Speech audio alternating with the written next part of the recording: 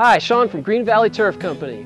We've returned to our backyard renovation with our pro crew to finish the job. Since our last visit, the sprinkler system has been installed. Today, we're going to bring it all together and install mulch, fine-tune the grade, and turn it green with fresh sod.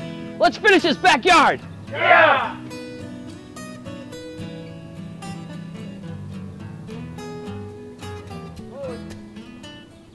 We'll start by defining the area with edging.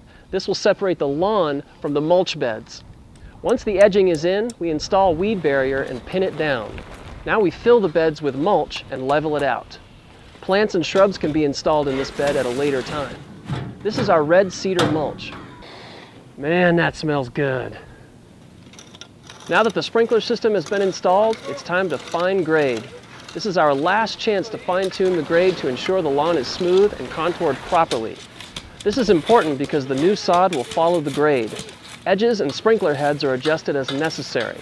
No highs, no lows, smooth transitions. Perfect grade is the foundation to a perfect lawn. Let's finish this thing.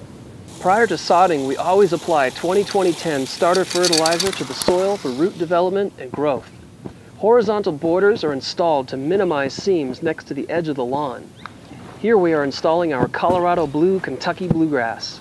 Notice how we keep the seams tight as we install each slab.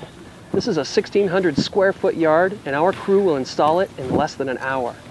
Once the sod is installed, all scrap is picked up, dirt swept, and we roll the lawn.